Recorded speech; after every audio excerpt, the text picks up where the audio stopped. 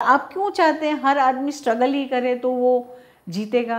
नहीं है उनकी डेस्टिनी में स्ट्रगल नहीं है उनको नहीं करनी है स्ट्रगल वो हैं जहाँ पर हैं, उनको अगर काम मिलेगा तो मिल जाएगा। तो उनको वो फ़ोटो मिली और उनको ऐसा लगा कि ये सच में शादी कर चुका है और इसके बच्चे हैं और ये हमें बता नहीं रहा है।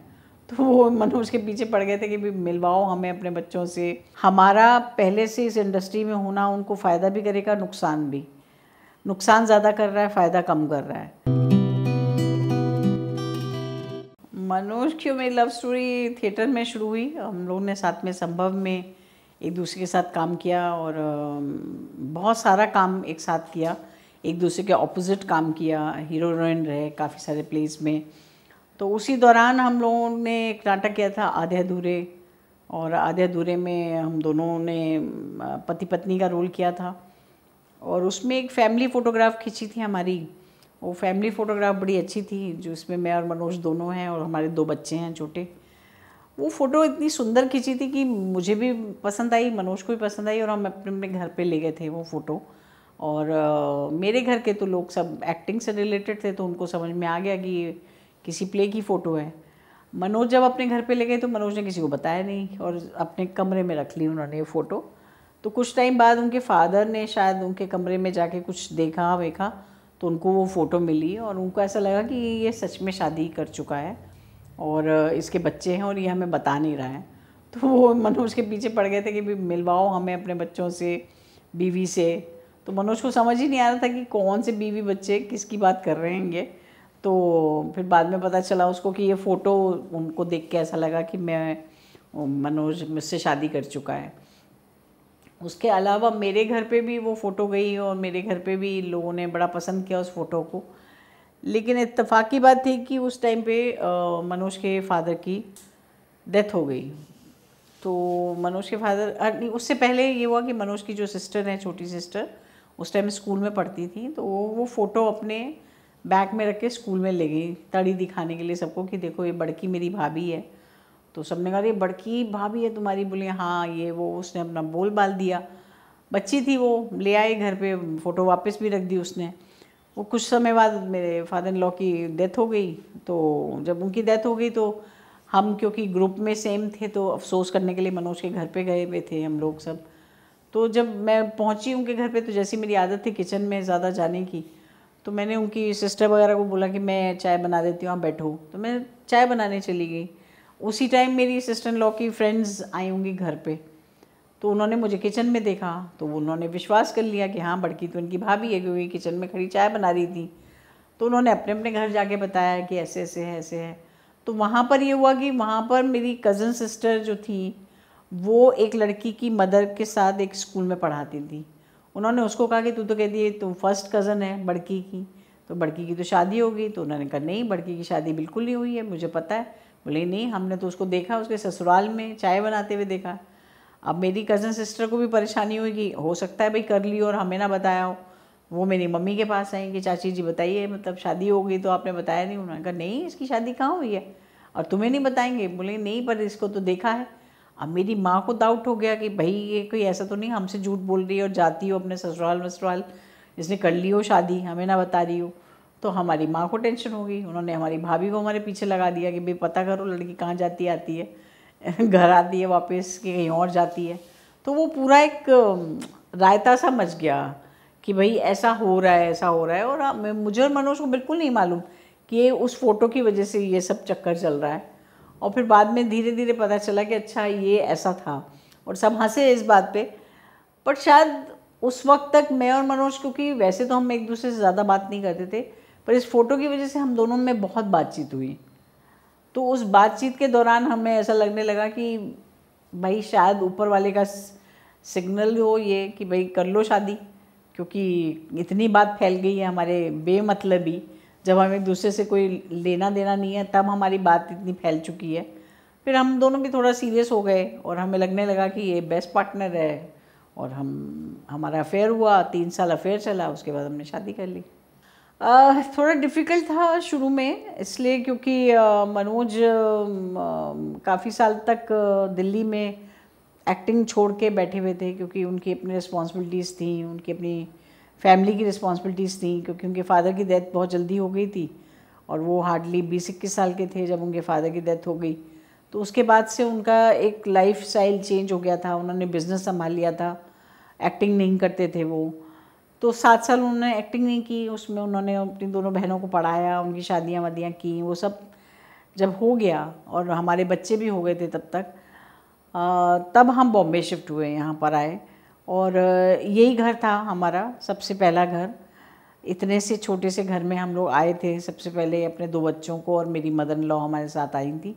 और बस ये हुआ कि फिर आते ही मनोज को थोड़ा काम मिलना शुरू हो गया। तो एक ये सिक्योरिटी थी कि भाई चलो, एक को तो काम मिला है। और फिर ताता बन गया, लेकिन शुरू में थोड़े स्ट्रगल के टाइम रहे हमारे। पर ऐसा कभी नहीं हुआ कि मतलब बहुत बुरी हालत में ऐसा रहा कि भाई पैसे भी नहीं है, खाना भी नहीं है। क्योंकि मनोज बहुत ज़्यादा सोच समझ के चलने वाले इंसान हैं। तो बॉम्बे आने से पहले ही उन्होंने अपना एक साल के राशन का इंतज़ाम ऑलरेडी कर रखा था कि एक साल तक मैं अपने बच्चों को ऐसा ना हो कि कोई परेशानी में डाल दूँ मेरी मदर भी हैं, मेरी वाइफ है, मेरी रिस्पॉन्सिबिलिटीज़ हैं तो वो मैं फुलफ़िल कर सकूँ। इतना उन्होंने दिल्ली में अपना पैसा कमा के वो डाल दिया था बैंक में। और उसके बाद अपना स्ट्रगल शुरू किया था, लेकिन मैं यही कहूँगी कि हम हमेशा ब्लेस्ड रहे हैं हम पे ऊपर वाले की बहुत अच्छी कृपा रही है। तो आते ही मनोज को काम मिलना शुरू हो गया था। और फिर धीरे धीरे मनोज तो कंटिन्यू तब से काम ही कर रहे हैं। डेफिनेटली अच्छा काम मनोज ने उसमें क्या था? बींग साइरस बहुत अच्छा काम किया था मनोज ने बींग साइरस में। उसके अलावा मनोज ने अभी आर्टिकल 15 में बहुत अच्छा काम किया है। लेकिन मनोज की अगर कॉमेडी फिल्म्स की सीरीज़ में मैं देखूँ तो मुझे सबसे बेस्ट लगती होंगी वांटेड मुझे लगता है मनोज ने वांटेड में बहुत अच्छा काम किया है। क्योंकि बाकी फ़िल्मों में तो फिर भी मुझे लगता है ठीक है। पर वांटेड क्योंकि ऐसा रोल था कि जो जिस, जिसको मनोज नहीं जानता है, उस आदमी को मनोज नहीं जानता है। तो उसको करना एक बहुत बड़ा चैलेंज होता है कि वो इतना बड़ा बेवकूफ़ आदमी था जिसका रोल मनोज ने किया था। तो वो एक चैलेंज था जो मनोज ने बहुत ही बखूबी निभाया है। तो मेरी तो फेवरेट फ़िल्म वांटेड है। मनोज को हम मैं कह नहीं सकती मनोज को कि ऐसा कभी ऐसा नहीं हुआ कि मनोज ने कहा तुमने इसमें बेस्ट किया है। मनोज मुझे एज एन एक्ट्रेस पसंद करते हैं बहुत ज़्यादा। तो मुझे लगता है कि पर्टिकुलर तो मुझे नहीं पता। हम्म, हम बातें बहुत करते हैं। दोनों बहुत बात करते हैं। हमें हर टॉपिक पे बात करनी होती है। हम पूरी पूरी रात जग के भी बात कर सकते हैं। बहुत बात करते हैं हम दोनों। और फ़िल्में देखना हमें बहुत पसंद है साथ में। तो एक कोई फ़िल्म लगाएँगे, फिर हम उसे देखेंगे, फिर हम उस पर ही बात करेंगे, उसकी एक्टिंग पे बात करेंगे, या अगर खाना खा रहे हैं तो खाने पे बहुत बात करेंगे, नहीं तो हम घूमते बहुत हैं। हमारा पूरा परिवार हमेशा ट्रिप पे ही रहता है कि एक ट्रिप ख़त्म करके आया दूसरा ट्रिप अब कब जाना है। और वो बहुत ट्रैवलिंग बहुत ज़्यादा ट्रैवलिंग करते हैं हम। तो ये हमारे पूरे फैमिली की एक कॉमन चीज़ है। मेरे दो बच्चे हैं, एक मनुकृति पाहवा एक मयंक पाहवा। मनुकृति जो हैं, बड़ी हैं एक साल मयंक से और बहुत टैलेंटेड है। मुझे लगता है कि मैंने बहुत यंग लड़कियों में बहुत कम लड़कियों को इतना टैलेंटेड देखा है जितनी मनुकृति हैं। उनके अंदर एक्टिंग स्किल बहुत ज़्यादा है। जो भी परफॉर्मेंस वो करती हैं, बहुत ही एनर्जी और बहुत ही खूबसूरत करती हैं। वो अलग बात है कि उनको अभी तक कोई ऐसा यहाँ चांस नहीं मिला है इंडस्ट्री में। अपने आप को साबित करने का। पर मैं क्योंकि उनके साथ थिएटर में काम कर चुकी हूँ तो मुझे पता है कि वो कितनी टैलेंटेड हैं और जब काम मिलेगा उनको तो लोग भी देखेंगे उनको कि डेफिनेटली कमाल की एक्ट्रेस हैं।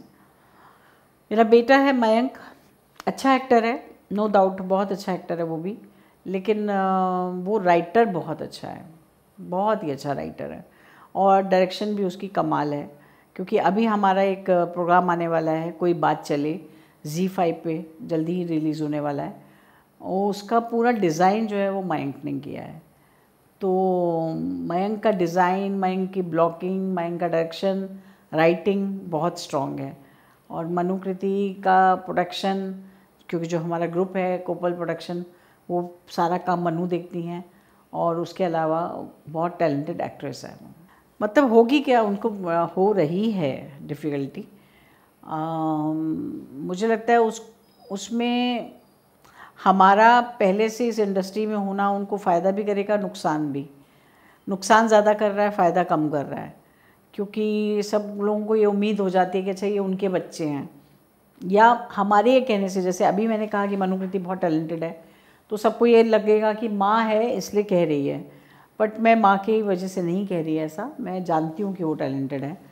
आ, तो हमारा किसी से कहना वो भी गलत हो जाता है कि हमारे बच्चों को चांस दो। और हमारे बच्चों का ये बताना कि हम उनके बच्चे हैं वो भी गलत हो जाता है।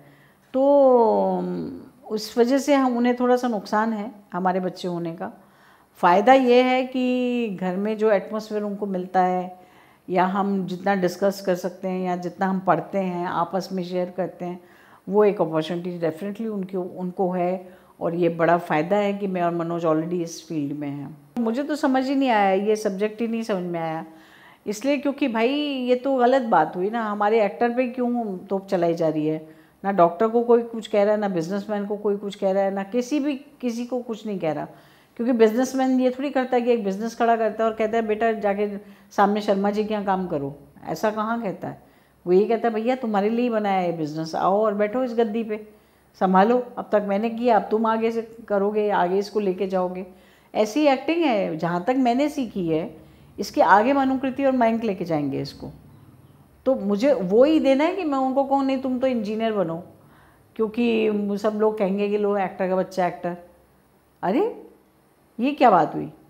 और आप क्यों चाहते हैं, हर आदमी स्ट्रगल ही करे तो वो जीतेगा? नहीं है उनकी डेस्टिनी में स्ट्रगल नहीं है उनको, नहीं करनी है स्ट्रगल वो हैं जहाँ पर हैं, उनको अगर काम मिलेगा तो मिल जाएगा। तो हर आदमी उस चीज़ को ब्रेक करना चाहता है कि क्यों ऐसा हुआ कि पका पकाया आम खा लिया।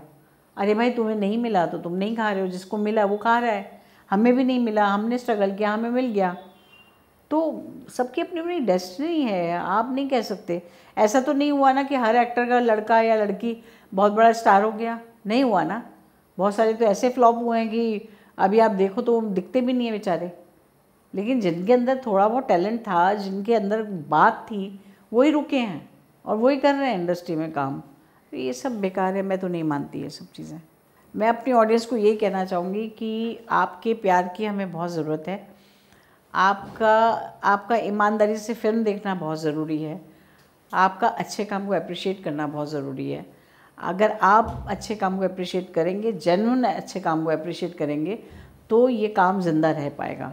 लेकिन अगर आप उन सारी चीज़ों के पीछे जाएँगे, जो अलग दुनिया की बातें कर रही है तो मुझे लग रहा है ये छोटी दुनिया जो है, ये आपकी कहीं खो जाएगी।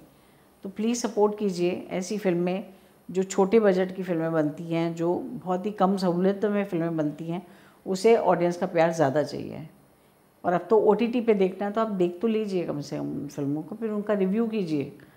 और रिव्यू करने से मत चूकिए, क्योंकि वही हम तक पहुँचता है।